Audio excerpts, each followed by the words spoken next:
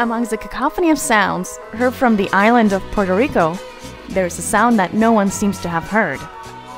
The music of the people, of which the cuatro, our national instrument, speaks to the soul of every Puerto Rican on any corner of the world they happen to be in.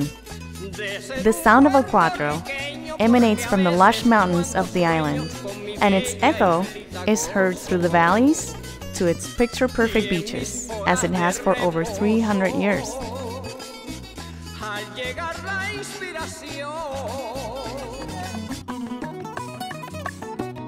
To my surprise and delight, one day the Puerto Rican masters of El Cuatro, Yomo Toro, Edwin Colon Zayas, and Alvin Medina came to Los Angeles to share their music. They are for the Cuatro, you know, what Andres Segovia, Narciso Yepes, and the Romero family are for the classical guitar.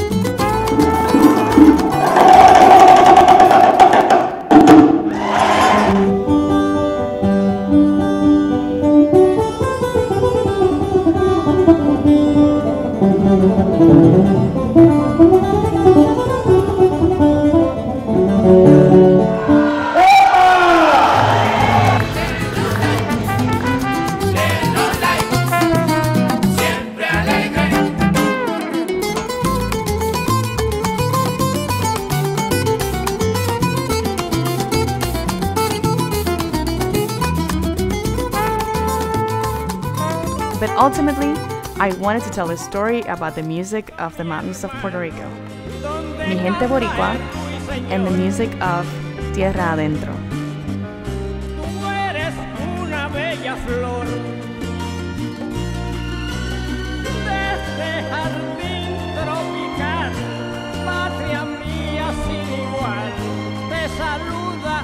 trovador.